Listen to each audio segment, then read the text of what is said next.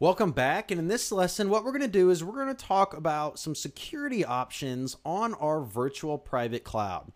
Now, I want to go over just a quick diagram provided by Amazon Web Services, and I want to talk about a few concepts, even troubleshooting type items when it comes to security in our virtual private cloud. So, security in our virtual private cloud, we have two different layers of security. We have our network access control lists. So, for you network administrators out there, that probably sounds a little familiar. And then we have our security group that sits in front of our EC2 instances or our RDS instances. So, we can manage security at the security group level. But then we also have essentially a firewall at our network level, also known as our network ACL. And so that's this option right here. So let's talk about the process in this before we take a look at those network ACL rules and how they work. So this diagram allows us to illustrate that we have one a virtual private gateway or an internet gateway. And as we know, we know that our gateways allow us to send and receive traffic. Whether our virtual private gateway connects our on premise or branch location and extends our cloud to internal networking to, for example, our home computer or office computer. But then we also have our internet gateway, which allows traffic from the internet, open internet, to come into our virtual private cloud if we assign elastic IP addresses to instances or elastic load balancers or has a public IP address associated to an instance. Because again, we know that in order for an instance to be able to communicate, even if it has an internet gateway, it needs to have an elastic IP address associated with it or an elastic load balancer in front of it. So some way of public DNS, and those two options handle public DNS. So let's take a look at this from a perspective of coming from an internet gateway. We have traffic that comes through the internet gateway. It hits our VPC router. From there, it one where which subnet's going to go to. So let's say our 10.0.0.0 is our public subnet. Okay, so from there, it's whichever subnet it goes to, which really it looks at what instance we're directing traffic to. So is our elastic load balancer serving traffic to our 10.0.0.0 subnet? Or do we have elastic IP addresses assigned to these two instances and our 10.0.0.0 subnet? So if we take a look at this traffic, we come through the internet gateway. We hit our VPC router and go through our routing table. And then we have a network ACL, and this is essentially a firewall for our subnet. We can allow or deny traffic to and from our subnet through this network ACL. So our network ACL either denies traffic here or it allows traffic to go through our subnet. From there, our traffic is still going somewhere. So we're going to say it's going to our two instances up here our traffic flows through the subnet to our security group, which sits in front of our instances. Our security group, as we know, has rules sitting in front of it. It's essentially a firewall as well. It's a firewall for our instances. We can allow and deny traffic. We can allow and deny traffic based off IP addresses. So this is another layer of security. And then we have our instances which allows, if all of the traffic is allowed to go through our network ACL, through our security group, and finally to our instance. So here we have two layers of security for monitoring traffic in and out of our virtual private cloud or to an instance. So let's talk about a few scenarios. Let's say that there is an individual that is attempting to DDoS our network, take down our network. And we want to not just deny him access to a specific instance, because again, we can deny access on the security group level. But we want to, instead of having to alter every single security group we have, we want to just make sure that he is not allowed, or we want to make sure that that DDoSer is not allowed to even get past or to our network subnets. So instead of having to modify as many security groups we have to block his traffic period from all of our instances, we can do that on the network ACL level for our subnets. Okay, so we can actually create a rule that says deny this specific IP address. And whenever that traffic comes in through our routing table, through our routing table, and hits our network's network ACL, if there's a deny rule for that IP address that's DDoSing you, it will go no further. It will not hit any of your instances. It will be denied on the network layer of your virtual private cloud. We can also add a rule in our security group that denies the traffic. But again, we would have to add the rule to every security group that we want to deny traffic to. This person is DDoSing us, so chances are we want to deny their all of their traffic from any of our network because there's nothing useful coming from that DDoS attack. So we would do that at the network ACL level. We would create a rule that says deny this IP address from sending and receiving any traffic to and from our subnet. So let's head back over to our virtual private cloud dashboard. From there, let's head down to security. We have our two options, two layers of security inside of our virtual private cloud. Our network ACLs allow us to create essentially firewall rules that deny or allow traffic at the subnet level, at the network layer. Our security groups sit in front of our EC2 instances, so traffic can still flow in and out of our subnets, but it may be denied or allowed at the EC2 level, at the RDS level, the instance level. So let's talk about our network ACL. Security groups, we've gone over in EC2 basics, right? So what we're going to do is we're going to focus on our network ACLs. At this point in time, we should already understand how security groups work. But for virtual private cloud, we need to understand how our network ACLs work. So our virtual private cloud is stateless. If we want traffic to be allowed and denied, this means that we need to create rules for outbound traffic and inbound traffic. Just because we create a rule that allows all traffic on port 80 to come in does not mean that a traffic is allowed to go out on port 80.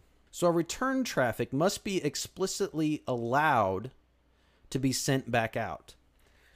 This is different from our security groups. Our security groups inside of a VPC are stateful. Response return traffic is allowed to flow out regardless of allow or deny rules. So if we had inbound traffic to port 80 and our instance needed to send traffic outbound as a response, that would be allowed automatically. However, network ACLs, we have to explicitly allow or deny inbound and outbound rules.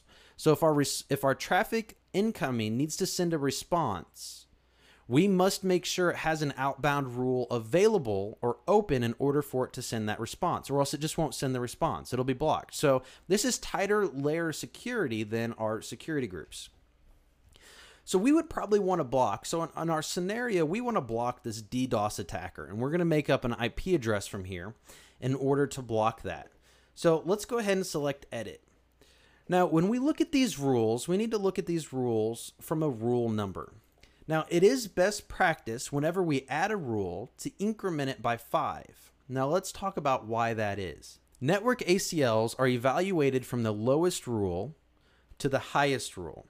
So, what we have here by default on this default network ACL. Now, if we look at this, this one network ACL is associated or protects all three of the subnets we created inside of our virtual private cloud we can create different network ACLs and assign our subnets to a different network ACL. So if we wanted two of our subnets to be under our default network ACL, and we wanted to create a second custom one for our third subnet, we could do that. And inside of our subnets, we could actually specify which network ACL that we want to use allows us to select our available ones inside of our VPC, much like our route tables. So in our network ACL, our rules are evaluated from the lowest rule to the top rule. We want to increment the rule numbers best practice by five because if we want to add a rule in between 100 or 105, then we still have room to do that. So let's say that we want to uh, create an explicit deny for a specific IP address. What I would do is I would add another rule. I would set this as rule number 99. This is all traffic because I really don't want this user even seeing my network. And then the source. And again, I'm going to make up an external IP address. It's probably going to now be the proper class when we do that. I'm just going to enter in the proper format here. And we're going to say that this is the attacker's IP address. Remember, slash 32 specifies this exact IP address, the range of 1. And we're going to deny this user. So all we do is add that rule and hit save. So let's look at what's happening at this network ACL. This network ACL is going to evaluate rule number 99 first. So when this user, this IP address hits your traffic, whenever traffic from this source hits this network ACL, which is protecting currently all three of our subnets, the first thing it's going to do is evaluate the lowest rule first. And we probably should have put that actually 95 rather than 99, but it's going to evaluate this traffic first and it's going to deny it. So this explicit deny will deny all traffic from this user. Even though we have this allow, this deny is still going to explicitly deny all traffic from this user. Now, our allow rule here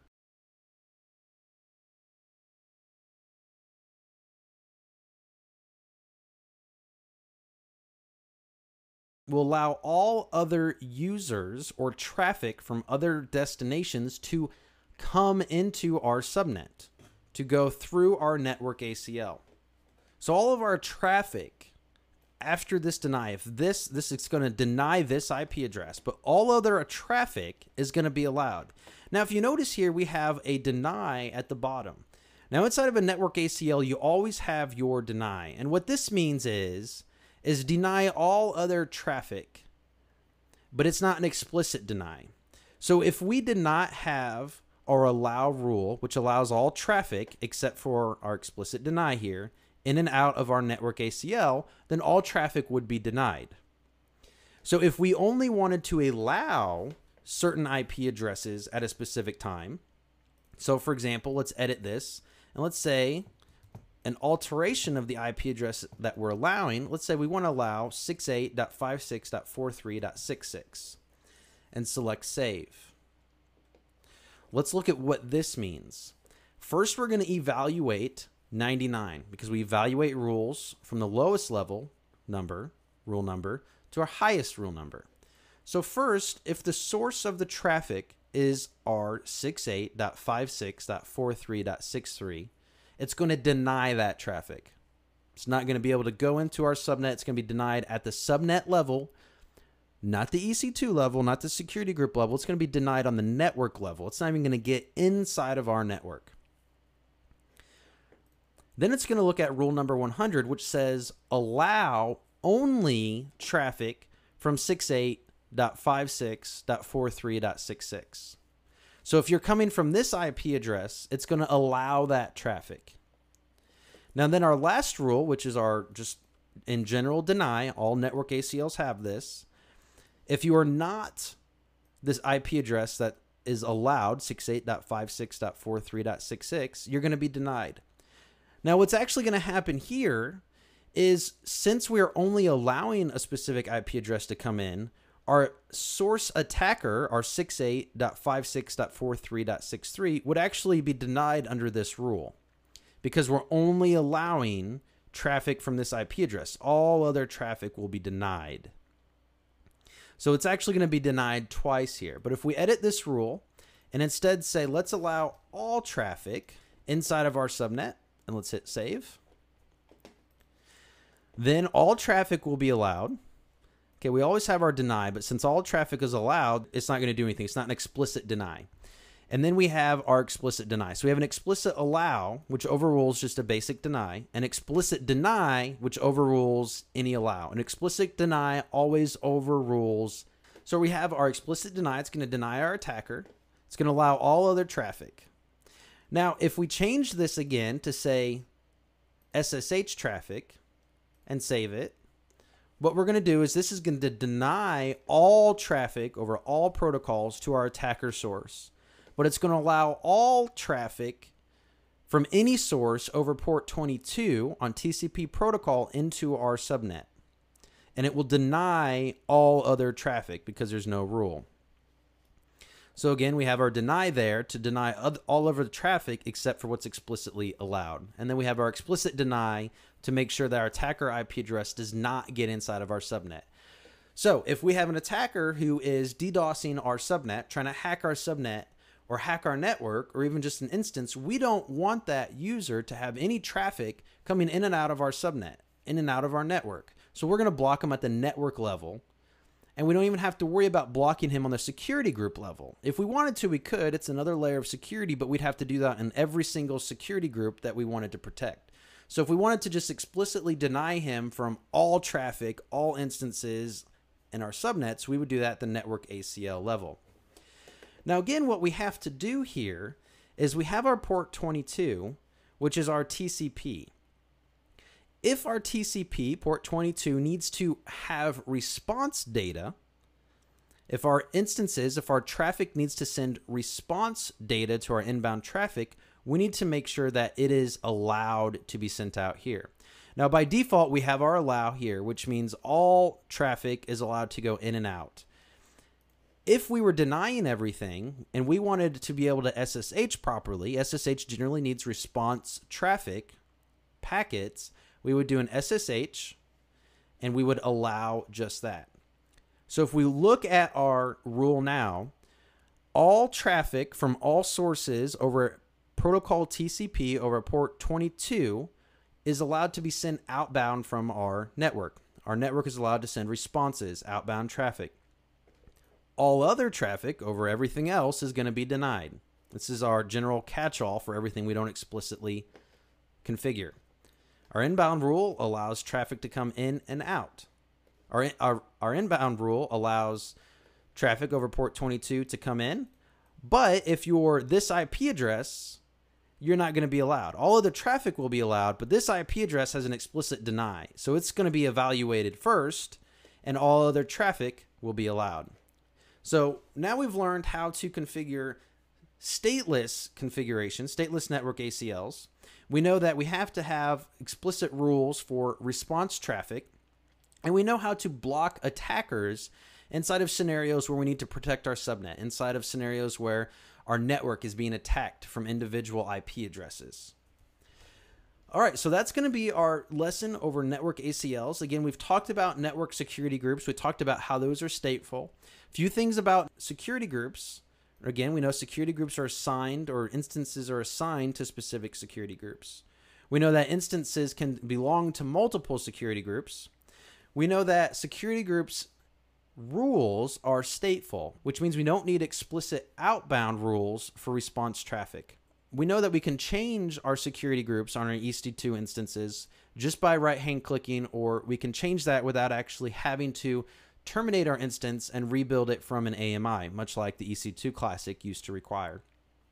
And so that's really a high level overview of security on our virtual private cloud. Remember, we have two layers of security. We have our network ACLs, which block it at the network level. And we have our security groups, which block it on the security group level, but really that's the instance level. If you have any questions at this time, please feel free to ask. Else, go ahead and complete your lesson.